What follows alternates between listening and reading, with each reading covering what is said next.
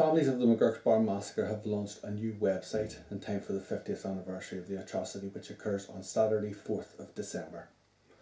The new website, www.mcgurksbar.com, commemorates the 15 civilians murdered in the Loyalist No Warning attack, those who survived and their families who have campaigned tirelessly and with great dignity now for over half a century. In the aftermath of the massacre, the Royal Ulster Constabulary and British Army colluded to blame the bombing on an Irish Republican own goal. In effect, they criminalised innocent civilians and allowed the pro state mass murderers to go free and to murder again and again.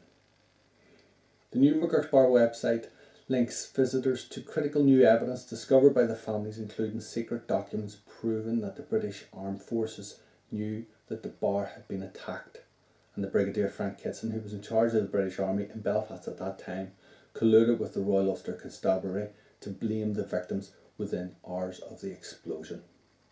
Our new website also showcases an innovative sound installation created by award-winning artist Sinead O'Neill Nicholl, who is recording the lived experiences of the families in the aftermath of the massacre. You can listen to Never the Same at the site of the explosion in North Queen Street using the free app on your mobile phone, Echoes Explorer, or visit mcgurksbar.com forward slash echoes and listen to it online in the comfort of your own home. The families are also publishing critical new evidence and articles on the website in the run up to the 50th anniversary Mass and commemoration on Saturday, 4th of December. Visitors to our new website can watch our films, download and read our books, and listen to the moving conversations of Never the Same in time for the 50th anniversary of the atrocity. McGurksbar.com is an easily accessible portal to the momentous campaign and historical research that our families had to undertake over the past half a century because of the British cover up.